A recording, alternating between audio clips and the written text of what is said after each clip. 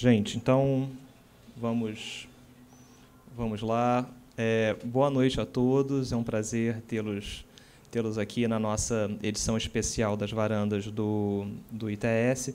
Peço desculpas pelo nosso pequeno, pequeno atraso. Hoje a gente acabou fazendo uma, uma formatação aqui da nossa varanda em que os nossos drinks e comidinhas ficaram lá fora e a gente está fazendo um encontro com, com o César aqui para proteger vocês do, do vento e desse frio pouco usual aqui para a cidade do, do Rio de Janeiro. Fizemos uma votação com todos os membros do ITS e chegamos à conclusão que sim, está frio. É, foi uma votação apertada, enfim, controvertida, mas chegamos a esse, a esse resultado. Bom, deixa eu fazer uma rapidíssima apresentação para aqueles que estão vindo aqui pela, pela primeira vez às nossas varandas. Bem-vindos ao, ao ITS, espero que a recepção tenha sido, tenha sido acolhedora. Nós fazemos toda, toda uma vez por mês sempre um evento aqui na nossa varanda, quando o tempo permite, ou aqui dentro do escritório, em circunstâncias adversas, é, como, como hoje, e sempre eventos que pretendem ser abertos, gratuitos e que possam trazer palestrantes interessantes envolvendo os temas que nós trabalhamos aqui no, aqui no Instituto. O Instituto tem quase dois anos de, de existência, mas ele é fruto de um trabalho de mais de uma década de grande parte dessa equipe que trabalha junto há, há bastante tempo. Eu vou fazer uma rápida apresentação do César. César, how is your Portuguese? Uh, okay. Okay. So, this is uh, just a, like a very quick presentation of you in Portuguese. Então, César, imagino que grande parte de vocês conheçam, mas ele é professor do MIT Media Lab, professor associado do Centro para o Desenvolvimento Internacional da Universidade. No, no, I quit Harvard, land of Mordor. So that not anymore. Antes de se juntar ao MIT, ele foi professor da Escola de Governo de Harvard, onde também foi pesquisador e o trabalho de Dalgo foca em ampliar a compreensão dos sistemas, desenvolvendo para isso conceitos como complexidade, evolução e ciência das redes. César é um dos maiores especialistas nessa, nessa área de pesquisa, reconhecido é, mundialmente, teve oportunidade de já se envolver em alguns trabalhos aqui, aqui no Brasil, como Data Viva, dentre outros, que acho que vamos falar um pouquinho pela frente, e acabou de lançar um, um livro que como vocês uh, podem podem aqui perceber. Sale o... 2 de junho, todavía não lançado. Ah, sério? Sim, 2 de junho. Mas você já pode pre-order na, na Amazon, Sim. pode? Sim. Então, e em Kindle. E também. em Kindle. Então, Why Information Grows, que é a base da nossa conversa aqui nessa, nessa noite de hoje. Então, César, nós somos imensamente we are very very happy to have you here and uh, we really appreciate for you to taking this time to to talk with us. So feel free to to lead the conversation. Our idea is to run it in a very informal way. So feel free to speak uh, as much as you as you feel like will be good to to to begin the conversation and after that we pass the mic to our audience to to questions and for a, a quick uh, Q&A. Okay. okay. Perfect. That sounds great. So go ahead. Thank you. So it's, it's my pleasure to be here. And what I'm going to do today is I'm going to try a little bit different. Usually, you know, uh, when I've been presenting the book during the last, you know, few months, um, I've been, you know, presenting like a like a 45 minute talk which summarizes some of the main ideas that I develop in, in, in the book. But today I want to do something different. So what I'm going to do is, is two things. You know, first I'm going to show you like a five minute video that summarizes some of the project-oriented activities that we do in my lab. You know, these are actually data visualization projects that make available uh, data sets on international trade, uh, economic development, cultural development. Uh, they allow you to visualize email metadata, understand the evolution of cities, and so forth. You know, and after we go through that, you know, uh, what I'm going to do is I'm going to focus on uh, the book, and I'm going to read to you a few select passages so you get a little bit of an idea of what the book is about, but also about the language that I'm using to describe these concepts. Sounds okay? Yeah? Okay. Fica legal? Okay. So I'm going to start by showing you this video that was produced, you know, actually uh, the video came out on Tuesday. we just produced in my lab. It's a small summary of the research projects that we are doing at MIT.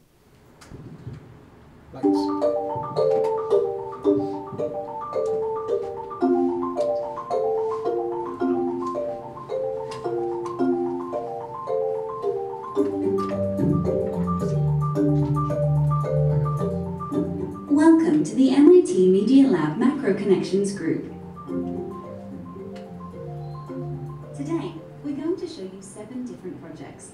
These are the Observatory of Economic Complexity, DataViva, Pantheon, Immersion, PlacePulse, StreetScore, and Dive. Most of these projects are data visualization engines. That is, they're online tools that empower people to visualize any aspect of a dataset.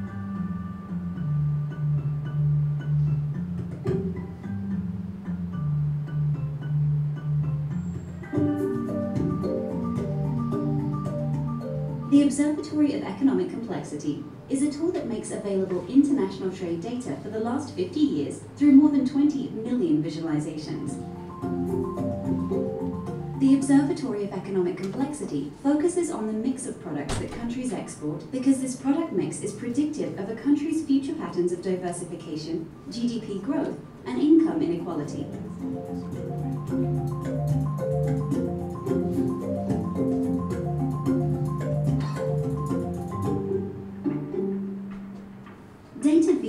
Makes available regional development data for all of Brazil through more than 1 billion visualizations.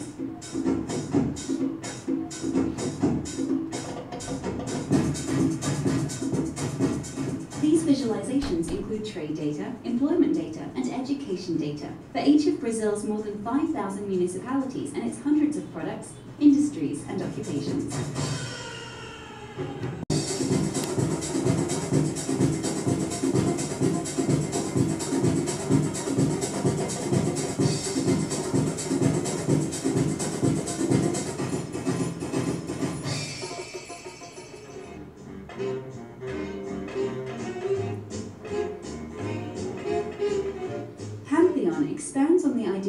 In the Observatory of Economic Complexity and DataViva by focusing on historical cultural production. Pantheon is allowing us to achieve a quantitative understanding of our species' collective memory and of the role of languages and communication technologies in the production and diffusion of cultural information.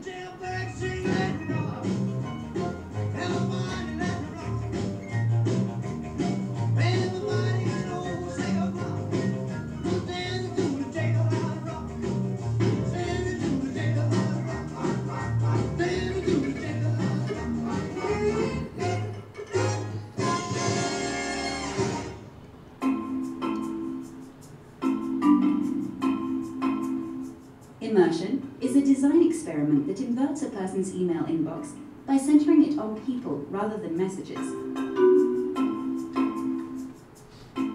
Immersion reveals the web of interactions that people create over long periods of time, helping uncover the information embodied in metadata, but also facilitating the study of the networks that form organizations.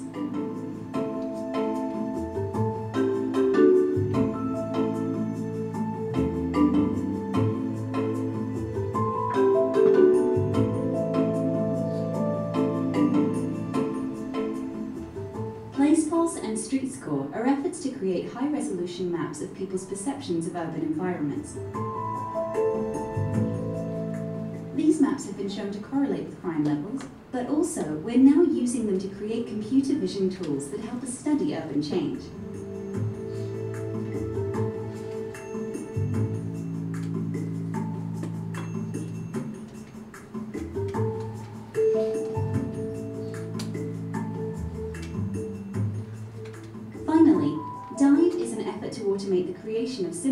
Visualization engines.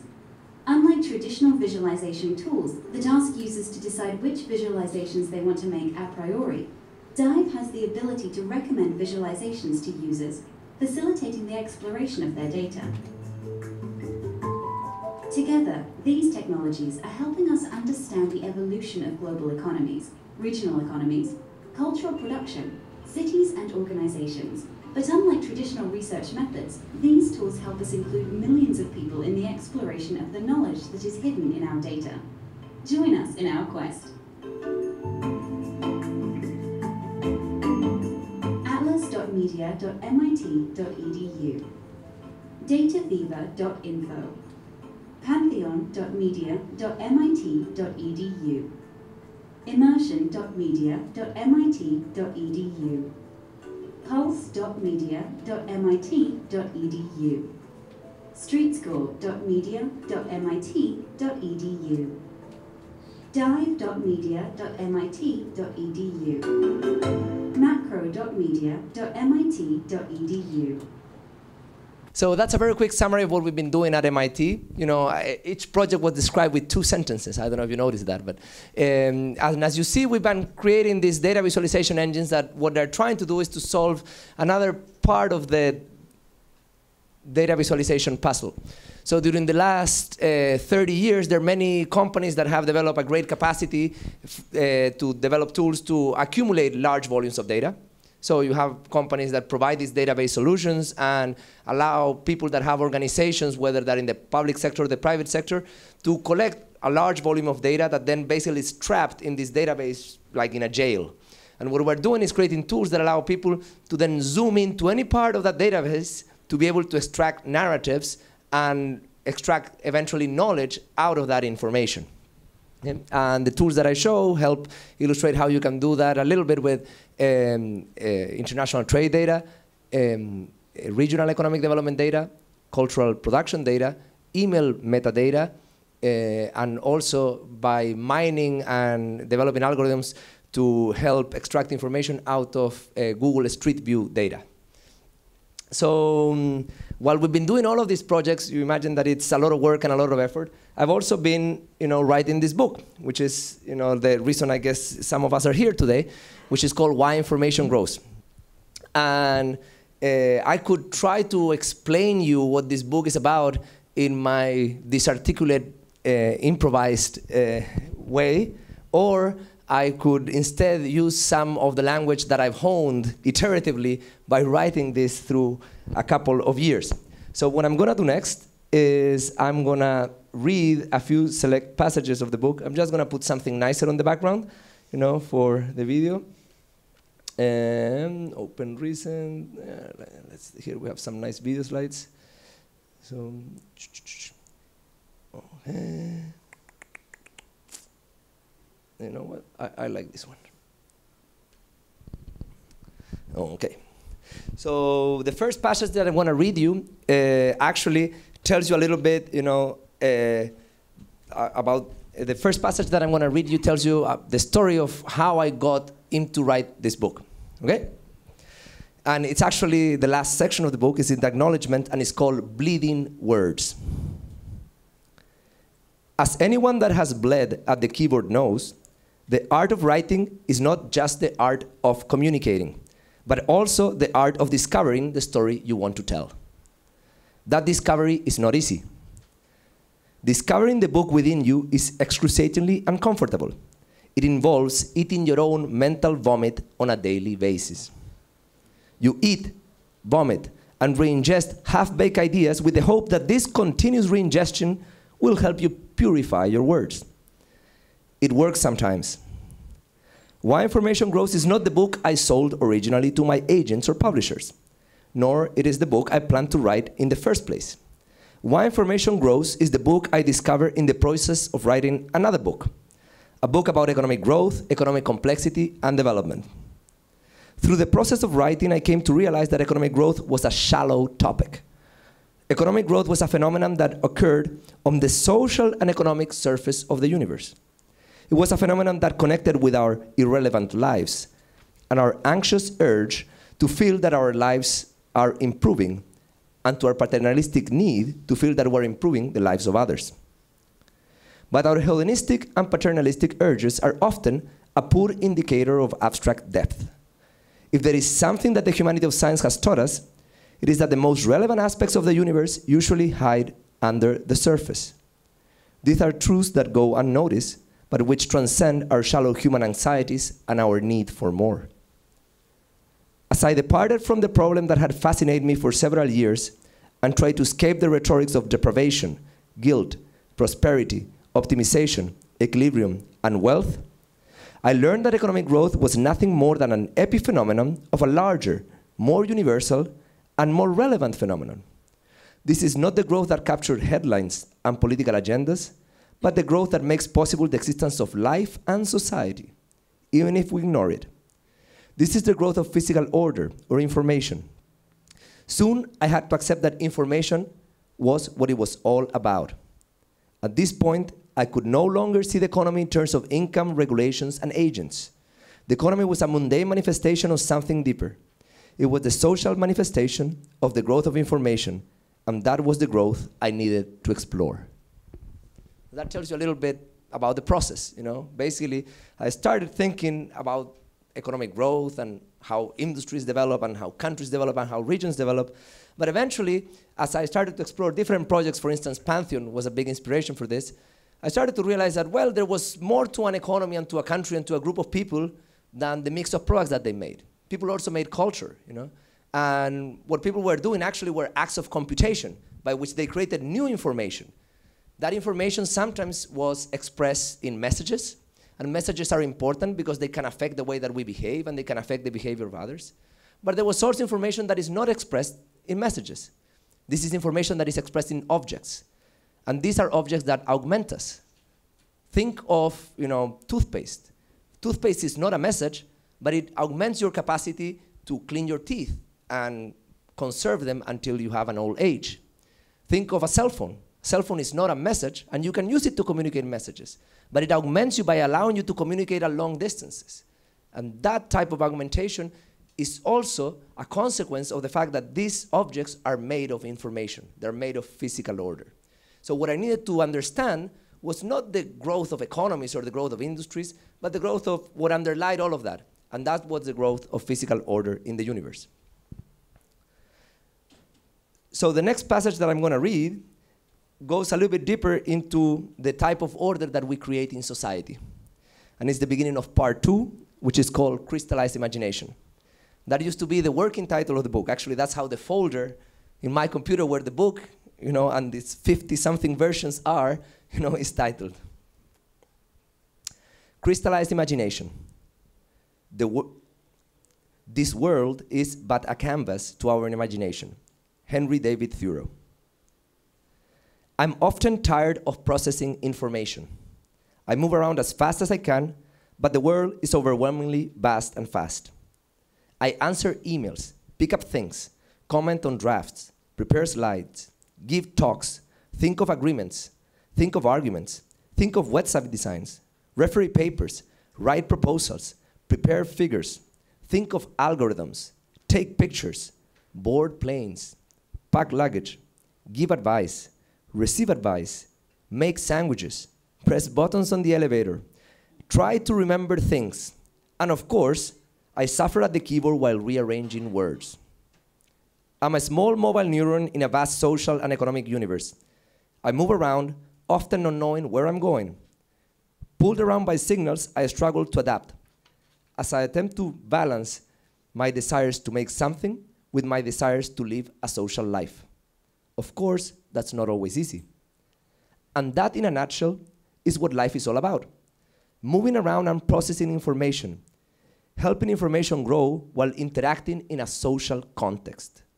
We spend our lives passing on meaningless objects and meaningful messages, objects that augment our capacity to process information, and messages that affect our behaviors and attitudes towards others. We form social structures to compensate for our limited capacities and the social structures learn how to process information. And thus we get information in objects and words. We create our surroundings from the most meaningful to the meaningless as we inadvertently slave away to serve the growth of information.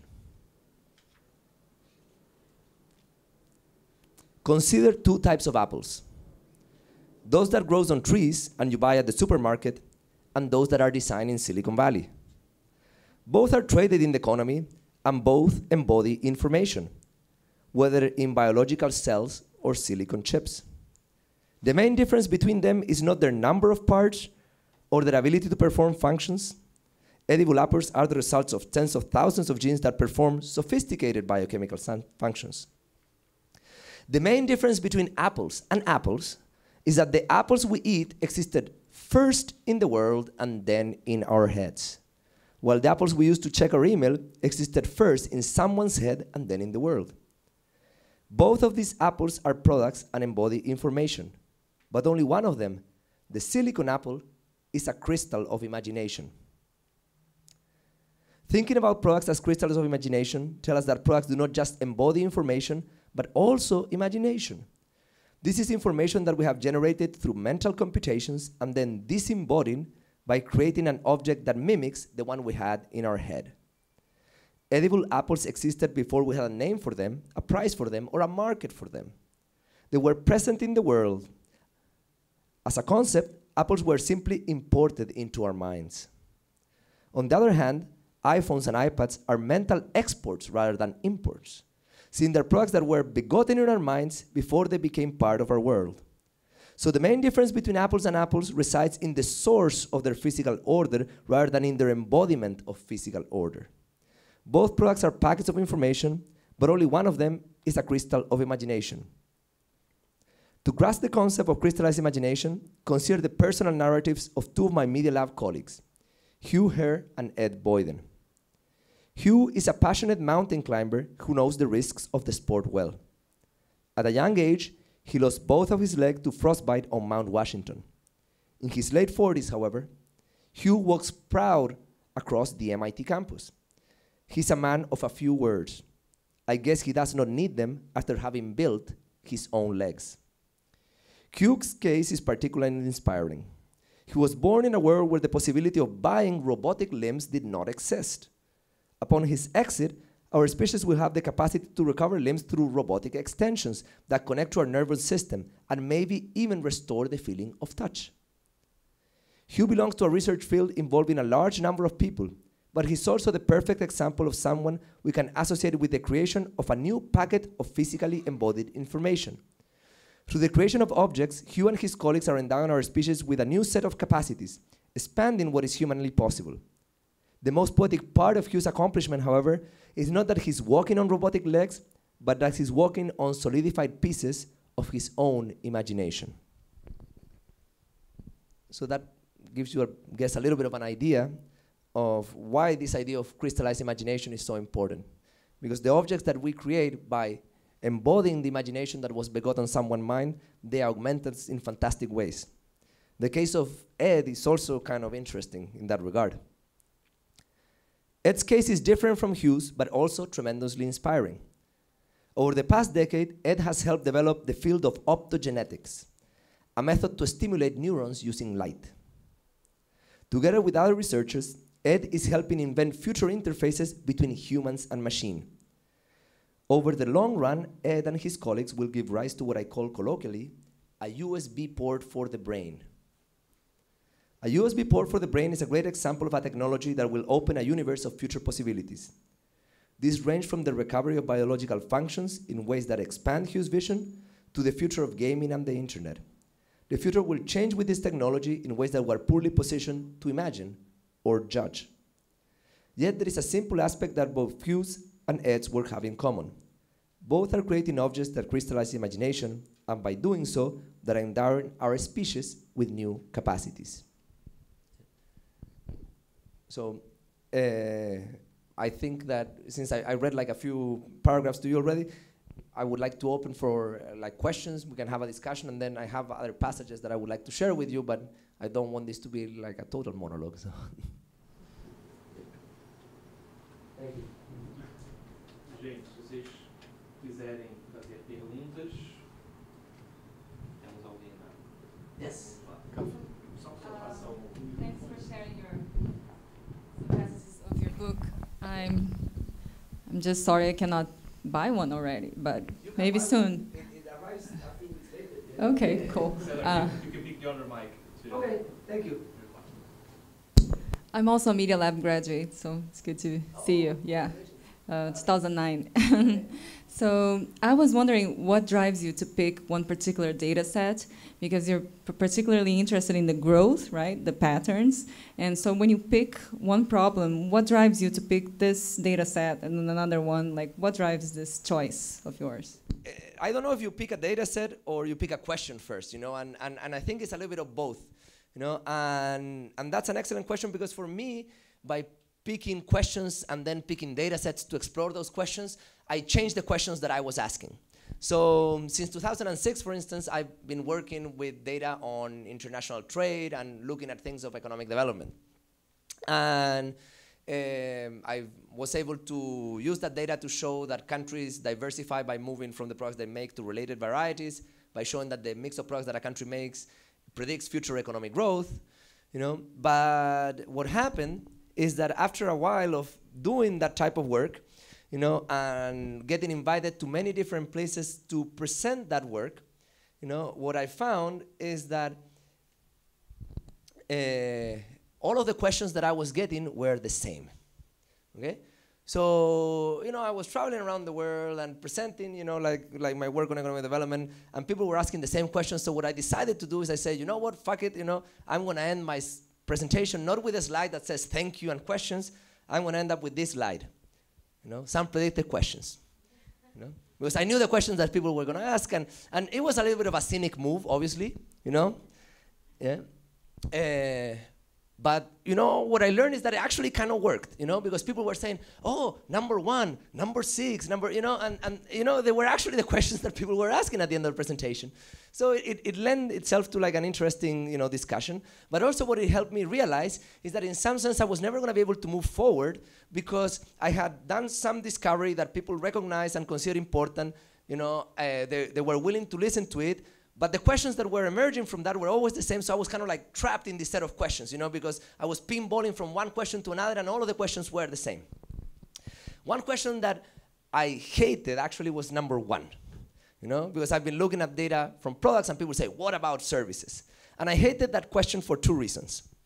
The first reason is that everybody was asking me that question, so it cannot be a very good question because it was not creative. If everybody comes up with a question, well, you know, it's kind of easy to come up with that question. So there's not a big creative component.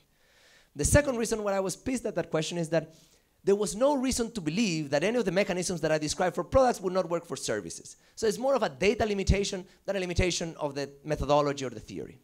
No, actually, like in DataViva, we include data from all sectors of the economy. We include data on industries and occupations, and you know, and, and, and services are an integral part of the resource. So in some sense, it was a question that was easy to acknowledge. What happened is that then I realized that there was one question that nobody was asking me, and it took me like three years to realize that question, which was, what about Elvis Presley? Nobody ever asked me, what about Elvis Presley or what about Pelé?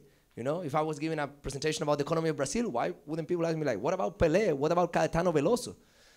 And I thought that was a better question. Why? Because that question moved me away from this pinball of questions and move me into a space in which I say, well, you know, to be honest, countries do not just export products, they also export culture. And that is kind of not accounted for. You know, and that is really different because, first of all, it's, it's not obvious that the same mechanisms that I'm describing for the evolution of economies are to apply to the evolution of culture. So what I decided to do is say, well, I'm going to try to answer that question. So for a few years, I started collecting data on cultural production. And unlike international trade data that was readily available in some UN websites, cultural production data was not readily available, did not exist, and I had to create it. The good thing was that I was born relatively, you know, recently, so the internet already existed. And since the internet already existed, there was, you know, the Wikipedia. And the nice thing about the Wikipedia is that it exists in many, many, many, many different languages. So obviously using the English Wikipedia is a very biased source, but if you use all of the language editions of the Wikipedia and you look at all people that are famous in many different languages, you have some sort of proxy for which are the people that have received global recognition. So for instance, you know, in Pantheon, you know, we have um, information about there are people that appear in Pantheon with people like Shakespeare or Darwin or you know Che Guevara, like people that have been famous for different reasons. Some of them have produced culture, some of them have become cultural icons in themselves, and people have produced culture by talking about them. Either way, you know, uh, we were entering like a new realm. And honest to God, I believe that in the beginning, what I was going to find was that there was great variation across countries. And I did find that. But I realized that that was not the most interesting aspects of the data set. The difference that was really interesting is that in the context of the Observatory of Economic Complexity and DataViva, I could look at very short timescales 50 years, 15 years. In the context of Pantheon, I could look at 6,000 years. And there were questions about you know, the evolution of the way in which we produce culture that you could now explore by having this 6,000 years worth of data on human collective memory. So what were the questions that actually we could explore using this data set that were not uh, possible to explore using the other data set. And you see how this is answering your question that now here I ask a question that was different that motivated me a data set and the data set changed the questions that I was asking. So this change of data set brought me to like three questions that I think are very, very interesting. Actually, I personally think they're more interesting than anything that I did in economic development. The first one is, well, what fraction of everything that happens we remember as a species? You know, what is our capacity to record information and how that capacity to record information has evolved over time? So what I'm showing here is actually like charts using two different data sets. The first one is the Pantheon data set. It has 11,334 biographies. The second one is a smaller data set called Human Accomplishment that has 4,000 biographies only from the arts and sciences. This one has all cultural domains.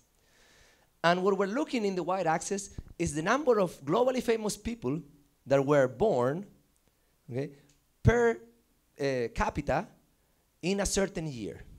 Okay? So basically, is the number of famous people that the world produces each year and that end up being remembered for many years after. And it starts at around the year 500 BC, you know, and you see that this line, you know, more or less remains constant. Actually, the noise that you observe here is actually Gaussian noise. You can measure it, and it's actually Gaussian noise. So those peaks and valleys are kind of meaningless, you know, because what you have is here is a rate in which basically for this period of 2,000 years, which is the area of writing, but before the area of printing, you know, what you have is that we were producing around like, according to this data set, four people per billion per year, and according to this other data set, you know, around one people, you know, per billion people per year. But then the printing press comes along. And when the printing press comes along, we find using statistical methods, you know, that actually there is a statistical significant change, you know, in our collective memory. We double the capacity to remember with invention of printing. And then with, you know, uh, like subsequent technical revolutions, we have a further increase, you know, in the number of people that we remember. Obviously, for the most recent years, we cannot separate between who is really memorable and who is just famous in the present day. But nevertheless, for me, the fact that this is constant and then it changed to another constant is not trivial.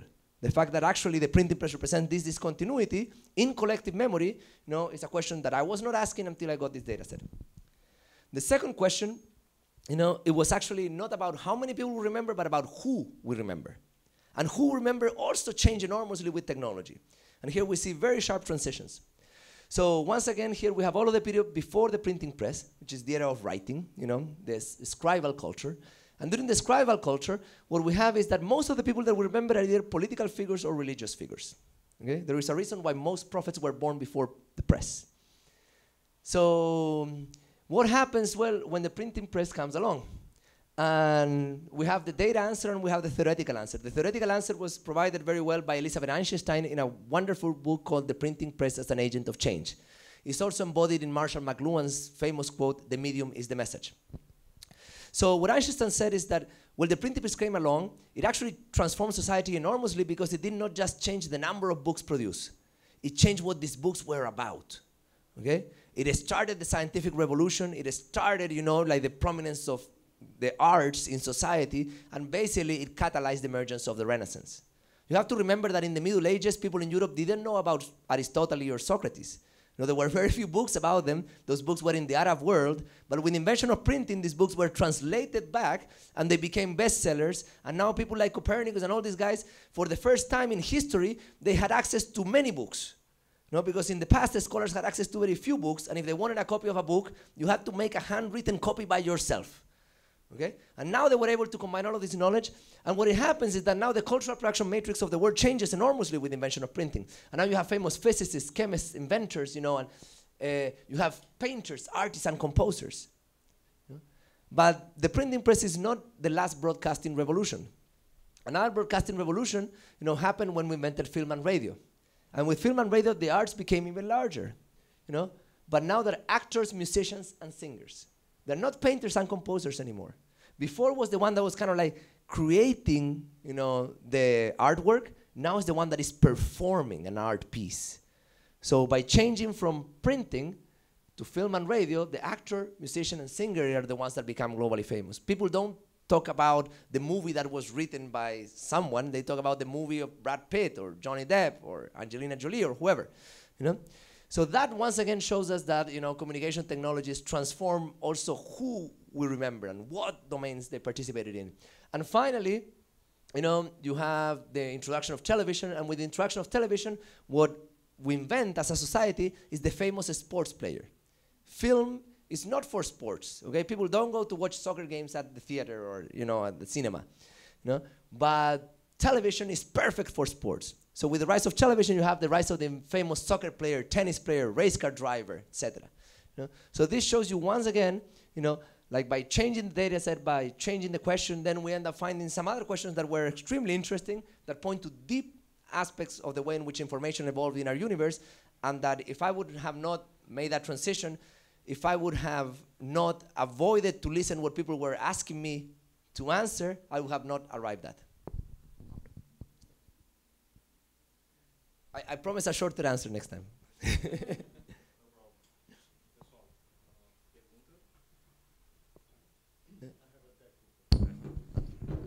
Hello. Thank Sorry, i- it's a kind of technical uh, question. I want to know if you are working with semantic web technologies and linked data, and th- if these technologies they have a, a kind of different impact in your work. And uh, a second word is how uh, your work could enrich these data sets. Okay. So you can have new information uh, aggregated by your, your, your work. So personally, I, I haven't worked with semantic web. I know of the semantic web and I know what it promises to do, but I work mostly with actually structured data. Okay, and when I don't have a structured data, I work to structure that data. So for example, Pantheon comes from semi-structured data that then we manually curate to be able to create the resource. Know? And the reason why I've been doing that, for instance, in this type of project is that uh, like the semantic web technology so far has not been able to deliver what it promised, you know? And also, uh, when it comes to questions that are very precise, uh, it has a relatively high false positive rate that in, in this type of studies would not be acceptable. Why? Because if I'm looking at international trade data and I tell you that Argentina exports $1.5 billion worth of soybeans, when in reality they export 1.4 billion or 1.6 billion, who the fuck cares, you know? If I tell you that Enrico Fermi was born in Rome, New York, I'm gonna get a lot of angry people on the internet. You know, and I'm gonna come and I'm gonna complain at me. So in some sense, the false positive rate that I need to have is so low, you know, or the it's so low that I cannot afford, you know, what I would get through a computational method, even if that computational method gets me 90% there. In other cases, you know, we have been working with computational methods, for instance, when it comes to computer vision, and there I, I, I've been trusting the machine more, but I haven't been using semantic web until now. I'm not sure if the semantic web ever is, is going to deliver or whether it was like a great idea that in some way uh, was not able to come to fruition. Maybe there's going to be a future where there's a breakthrough that brings it in, but I don't think it's that ready. Yeah. Yeah.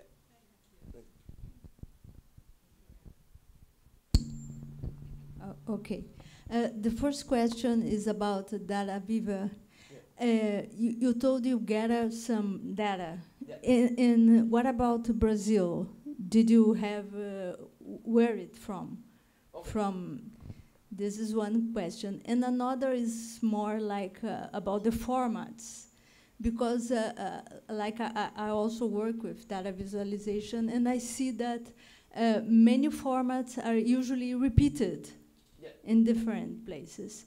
So uh, I want to speak a little about that. If you if you think uh, uh, if, if you have uh, already we had already uh, ended all the possibility in visual formats, or if you think there is more to go. Oh, I, I think there's there, first of all definitely there's there's much more uh, where we can go. I I, I, I look at the uh, resources that we've done, and even though I think they are relatively advanced given what's out there, they're like papyrus, you know, in, in some way. You know, there's so much that we're going to be able to do in the future. But to answer your first question, which was about the sources of data that we use for DataViva. So uh, the first version of DataViva, that was the one that we released on 2013, included data from RAIS and SECEX. SECEX is export data for Brazil, and at that time, uh, included only yearly export data. Uh, RAIS is data about employment, and that was data that was not previously public, you know, because it's data that actually contains uh, salary information for people. So we had data at the individual level that we had to then uh, structure and organize so that we can provide information about the salaries that are paid in each occupation and in each industry, the occupational composition of each industry, you know, how those wages change over time, what's the income inequality of a certain industry or a certain occupation, and, and now we have that. Um, and there is an interesting story that comes from that, which is also that by, by doing this, I realized that the mix of products that a country makes or that a region makes do not only condition their subsequent pattern of diversification and economic growth, but also the level of inequality that they're going to have. So if, if I may show you that, like, and, and we get an excuse to use DataViva, you know, so this is the new version of DataViva, which is actually, you know, uh, built in a new interaction design in which you can obviously go and search for like a certain place, you know, and like Belo Horizonte, whatever you know. But also you have these carousels that recommend profiles because the way that we structure this around profiles, so we have complex product, richest municipalities, best paid occupations, public ministries number one. yeah. But what allows us to do is also to start making comparisons that are interesting. So let's look at the extractive industries. And just so you guys get an idea, and maybe I have to make this a little bit smaller because the resolution is not that high. Let me put it around there. So extractive industries in Brazil, which involve mining and oil, represent around 22 to 24 percent of the total exports of Brazil. Okay, and actually, it's a fraction of exports that has been growing. Okay? So they're a big player in the economy. But here you have the people that are employed directly in the mining industry and the oil industry and all the extractive industries.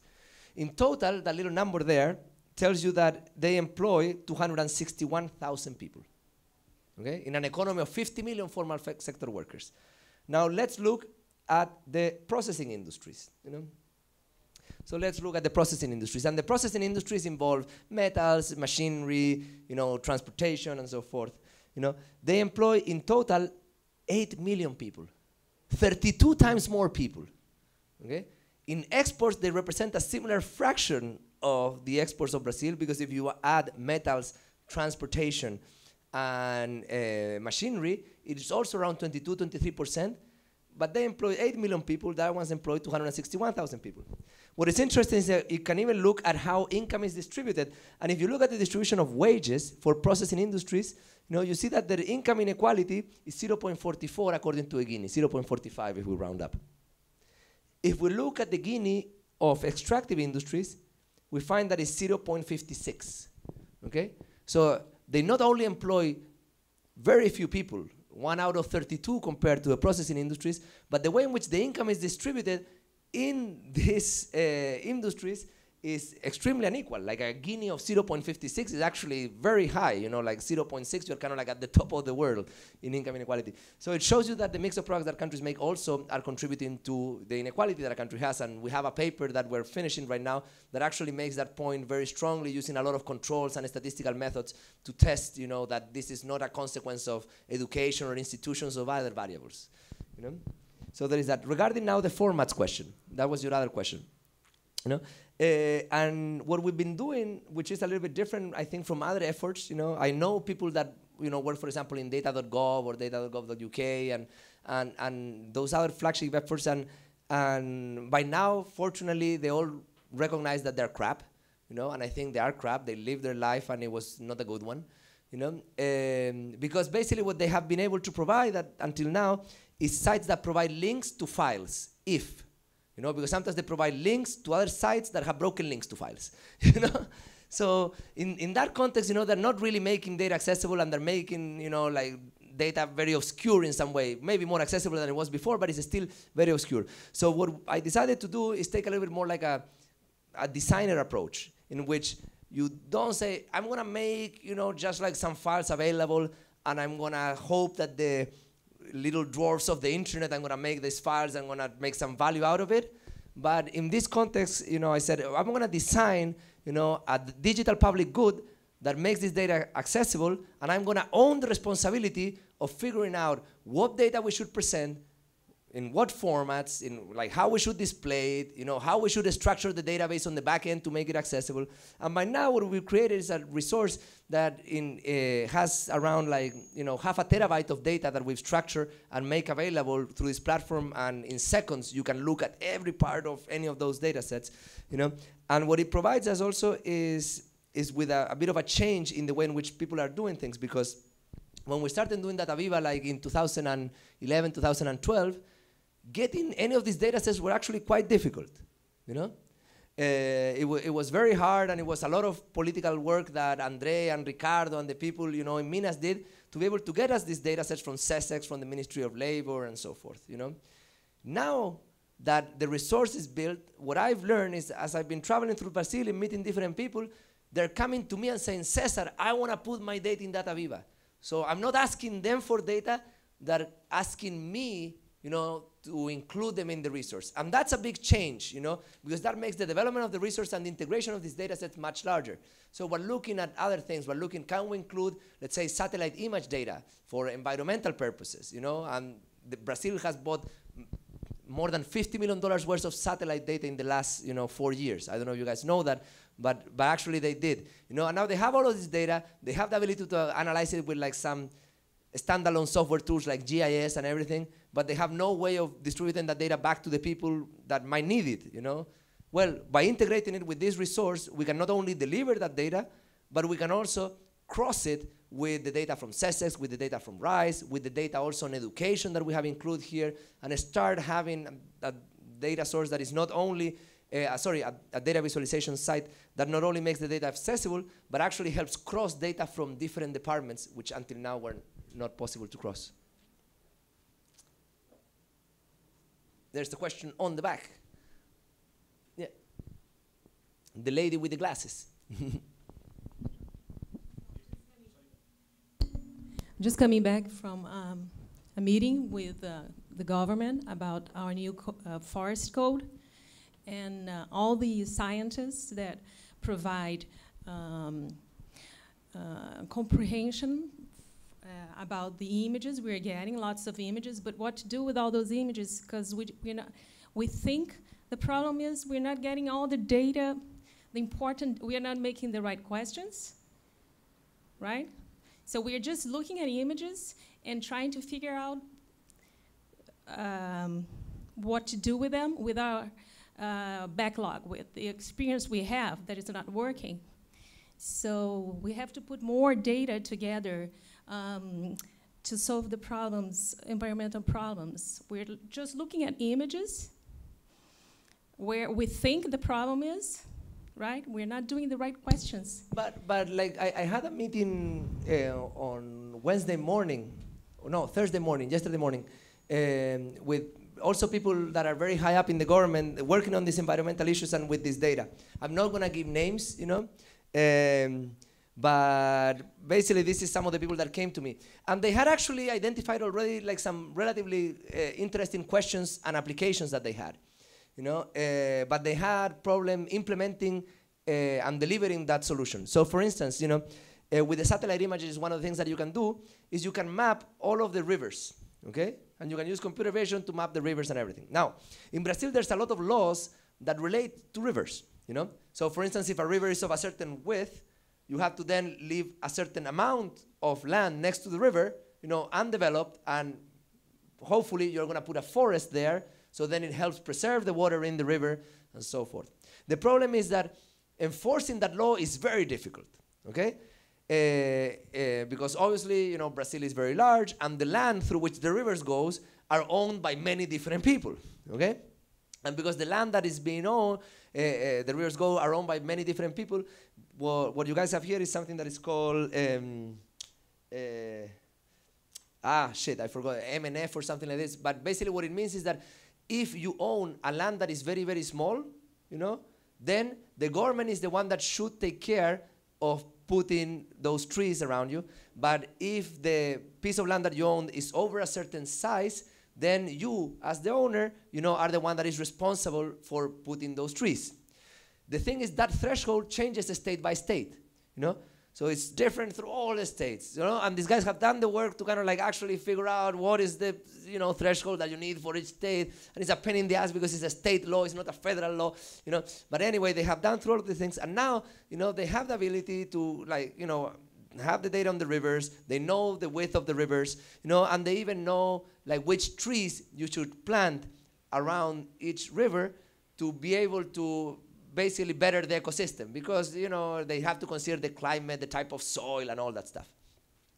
So they have all of that, and they have basically 17 terabytes of images and metadata that they have generated that is sitting on hard drives, you know, without being able to give back to a community. So what we're going to try to do in that case is, well, those sound like some interesting applications. Maybe there's much more than we can do, you know, but we're going to try to work with them to solve that problem and deliver that solution that they have already uh, figured out in some way, you know, to the people through a platform of this kind.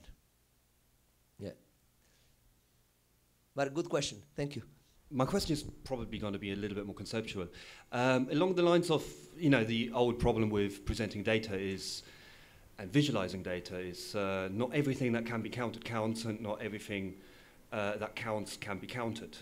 So you just said a phrase that sort of struck a chord with me saying, you take the responsibility to choose and select the data that you present. So you choose and select. There's always a subjective judgment involved. Exactly. Yeah. Um, it's always based on a lot of assumptions.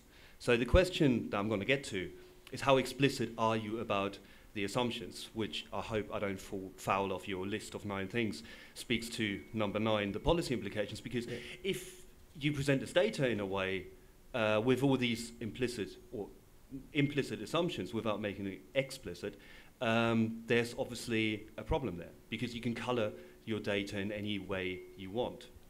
Yeah. Um, but what really struck me with your extremely well-honed words that you read out from your book earlier, um, really nice passages, and really the, the very rich conception you have of technology. So this, this notion of embedded knowledge. Uh, you call it the crystallization of imagination. imagination yeah. um, and then you speak about the mundani mundanity of economic growth. Yet you use these indicators of economic growth to visualize issues around this crystallization of imagination. Yeah. So there's disjuncture. Um, I think there's, there's, you know, immense amounts of subjective judgments made. And how do you um, supplement or complement your data uh, from these very reductive um, measures to, to encompass something more richer that you gave in your definition? Okay. So I, I think there are like two questions. One is the data of the choices that you make to represent data. The other question is about the like what you perceive as an apparent contradiction between saying that economic growth is shallow and then uh, looking at it anyway. You know? And I have no any I have no problem on doing things that are mundane in some way. You know, like like life is not all about depth. So you do things that are serious sometimes that are depth and things that are a little bit more shallow and then things that are super shallow. You know, and, and there is range, you know, and in that range, I feel that, you know, uh, if you accept that there is range and variety, there is no contradiction because in some context, some people care about that thing exactly in the surface, you know, and I can speak to uh, that surface and, and make a contribution there. In other cases, you know, I feel more satisfied going into something deeper and try to understand, you know, how, let's say, the evolution of society and economy relates to the natural sciences of information and computation. And that's something that I feel comfortable doing as well. So I, I don't think that there is a contradiction. They're just kind of like different layers, you know, of analysis, you know. And at the same time, you know, I, I'm very explicit about the book that actually I, I was working on that layer that I'm calling more shallow, and that's what the one that allow me to then go into this deeper layer in which I, I'm able to connect the natural and the social sciences by thinking of the world in terms of information and computation. Uh, so I, I, don't see contradiction there. Then in the in the case of choices, you know, uh, that's a very good question. It's a question that is always present in data visualization work. You know, Alberto Cairo and all these people are like tweeting all the time about that stuff. You know, uh, and and I think those choices are important. You know, but obviously, um, first of all, you know, sometimes the what we don't want to have is that uh, we have the default of not having any access to the information you know? So that's also like a dangerous default that we don't want to we don't want to like in some sense make information available you know uh, or not sorry not make the information available you know simply because there might be some issues with it. I find that the way to solve the issues with information usually is by making it available you know and being able to integrate you know the criticisms that come you know from the distortions that people find that exist in the data uh, on the other hand you know, like those type of distortions are much more important not when you're trying to present raw data, but when you're trying to present a conclusion that you're trying to support with data. So there's when you have to be very careful. But when I'm telling you, these are the exports of Sao Paulo according to this data set, and these are their shares, I'm not making any conclusion. You know, I'm just presenting you some information in a very raw form. This is the trade balance as is recorded by the data set. And if that happens to be wrong, fantastic. We discovered that it was wrong because we were never going to discover that that was wrong if we basically don't have a way to look at it. You know? So at the, at the same time, you know, the process by which we improve this is a process in which you need to make that information explicit at some point. Obviously, I, I personally, since I work a lot with data visualization, I'm very careful about all these biases and the ways in which you represent data and what's the easiest way to communicate it and, and, and what makes the interface intuitive and, and, and whatnot. But uh, I'm, I'm very much from the perspective that you know, it's better to try to get it out and then iterate on it you know, than not to get it out because one beautiful thing about the internet as a medium vis-a-vis print, you know, is that that book, you know, in six months from now, it's going to say the same. But the web is a live medium, so if I find a mistake, I can fix it and I can correct it. Of course, in our sites, we make explicit all of the process and the methodology. That page has zero traffic, you know, yeah, but we make it explicit. So, for instance, in, in the case of Pantheon, you know, we got a lot of heat, obviously, because when you're talking about culture, you know, you discover that 99% of the world are closet nationalists, you know. Uh, but in the case of Pantheon, uh, we have like, for instance, like a method section page that has more than, you know, 5,000 words and, you know, like very long description of each one of the biases and limitations that come from the data and all the stuff and everything. Trust me, you know, there's very few people in the world that had come with a criticism that I would say, oh, this guy actually read you know, all of the methodology and then came out with the criticism. It's usually you get like an internet troll that didn't read it, you know, but, but we, we're explicit about it even though we find that that explicitness in the methodologies usually does not get consumed in a way that interacts then with what you present. Yeah. But we take that very seriously. Yeah. If you don't have questions, I read another passage or, we, or we're done with time. As, as, you wish. It's, okay. It's 7.50, so we still have, I would say, like uh, 15 minutes. Okay. And then we close, so feel free. Mm -hmm. Let me see. So do you guys want a passage that talks about natural sciences or social sciences? Social. Social. Social sciences. Okay. The quantization of know-how, part three. In 2013, Josep Guardiola, the former coach of Barcelona and current coach of Bayern Munich, visited the MIT Media Lab. Guardiola, or Pep as he's informally known, had accepted an invitation to visit MIT from his friend and MIT's treasurer, Israel Ruiz. After some emails involving Israel, Joi Ito, and me, I was put in charge of preparing for Pep's visit, a responsibility that I accepted happily. Pep's visit was easy to organize. Students from my group and other groups at the Media Lab were excited to present their work to the soccer celebrity. Yet, since students from other departments also wanted to meet him, I decided to organize a short Q&A session. It was in this Q&A that a student asked, Pep, if we built a team of robots, would you come and coach it? His reply was short and cunning. He said, and I paraphrase, the main challenge of coaching a team is not figuring out a game plan, but getting that game plan into the heads of the players. Since in the case of robots, I do not see that as a challenge, I kindly decline your offer. Pep's answer summarized succinctly one of the main challenges of working with teams of humans. His years of coaching experience had taught him that one of the most difficult aspects of his work was not just figuring out a game plan, but distributing the plan among his players. Pep's challenge was not simply one of communication, after all. It is clear that he was not interested in having players merely recite his game plan. He wanted players to be able to act according to his plan in the heat of the game. The plan had to be deeply internalized, and that embodiment what was made coaching challenging. Pep's problem involves physical embodiment, although in this case it involved embodying knowledge and know-how in players, not just information in atoms. Just as products are made of matter and information, sport teams and firms and musical groups are made of people who embody knowledge and know-how. Know-how and knowledge are embodied in the nervous systems of the soccer players but also in the team as a whole. Since players need to process information collectively to coordinate offensive maneuvers and repel attacks. The knowledge and know-how embodied in a soccer team, however, hinge largely on the team's diversity. Since goalies and strikers, much like drummers and guitar players in a band, or like quarterbacks and offensive linemen on a football team, differ in the individual know-how they possess. This means that players contribute to the team by adding knowledge and know-how that is not entirely redundant with that of others. This diversity would allow teams to perform actions that cannot be achieved by single individuals, whether it's the actions needed by a soccer team to win a game or those needed by an orchestra to play one of Beethoven's symphonies. This division of knowledge and know-how, not just labor, is what endows networks of people with fantastic capacities, such as those required by soccer teams to win the Champions League.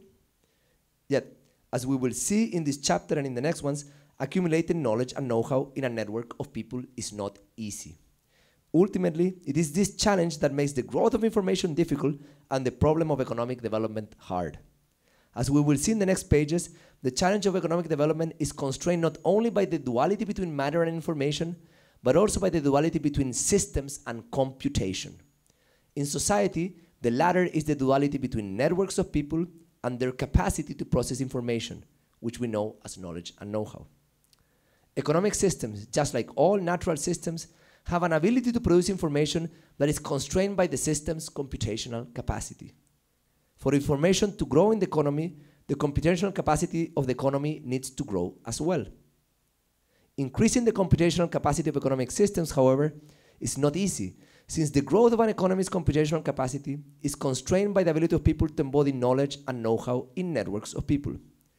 So to understand the growth of information in the economy, we need to understand the mechanisms that limit people's ability to form the networks they need to accumulate the volumes of knowledge and know-how that transcends a person's individual capacity. I will dedicate the next three chapters of the book to describe the challenges that limit our ability to form networks and to embody knowledge and know-how in networks of people that make information grow. And if you are interested in the social science part, you know, I think there is also like a distinction between knowledge and know-how that you might, because there's also some math if I look at Shannon stuff, but um, that might be interesting to you. This is the introduction, the secret to time travel. You know what? I, will read you this other, chap, uh, this other part because it's more poetic and, and, and it's very it's very personal too. This is chapter one The Secret to Time Travel. The chair where I waited for my daughter's delivery was not that comfortable. My wife Anna and I had arrived at the Massachusetts General Hospital at 6:30 p.m. that Saturday. We had stayed at home waiting for her contractions to evolve and decided to hit the hospital when they were only a few minutes apart.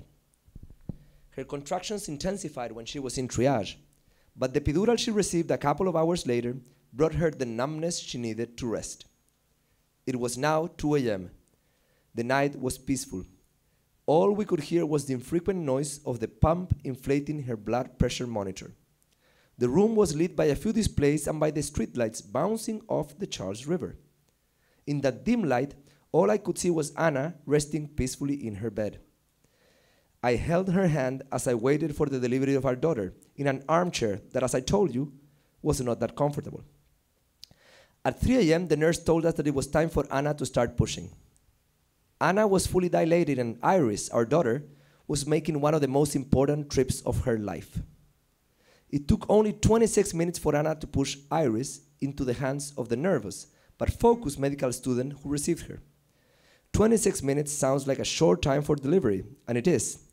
Yet I will argue that the trip that Iris made that night was not a 26 minute trip down a few inches of birth canal, but a 100,000 year journey from a distant past to an alien future. In 26 minutes, Iris traveled from the ancientness of her mother womb to the modernity of 21st century. Birth is in essence time travel. Up until that night, with the exception of a few sounds, Iris had experienced a world that was no different from the one experienced by babies 100,000 years ago. She had been carried inside her mother's womb, hearing mostly the voice of her parents, oblivious to the complexity of the modern world that swirled around her. That obliviousness changed that night. Iris was born at 3:26 a.m. in a room that was illuminated not by sunbeams, but by fluorescent and incandescent bulbs. Her paternal grandparents, were anxiously waiting to hear about her delivery, saw her face for the first time in an email attachment. The music that filled the delivery room minutes after Iris was born came not from the birds or the trees, but from the speakers of a tablet computer that obeyed the orders of an algorithm that chose a song for us. Iris' trip that night was only a few inches long and lasted a few minutes, but in a deep sense, it was much longer journey.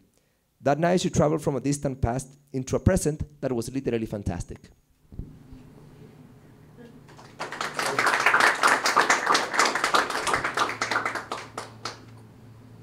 So if you guys don't have any questions left, I would be happy to take the questions, obviously, but Any questions, guys? If not, going to. we can have a one quick beer outside. Yeah, I think so. So, posso só pedir uma salva de palmas para o nosso.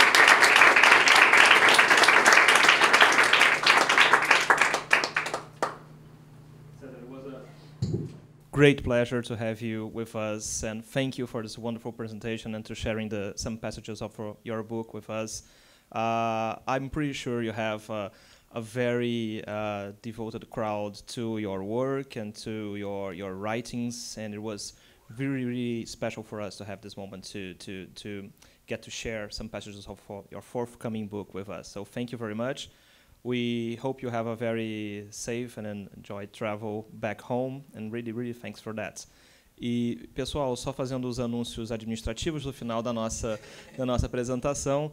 É, obrigado por vocês terem vindo aqui nessa, nessa noite gélida do Rio de Janeiro. A gente transformou a sala em um pouquinho mais quente para vocês, mas como vocês sabem, às vezes cuidado com os seus desejos. Então a sala acabou ficando um pouquinho mais quente do que a gente gostaria, mas a gente resolve isso no nosso próximo encontro.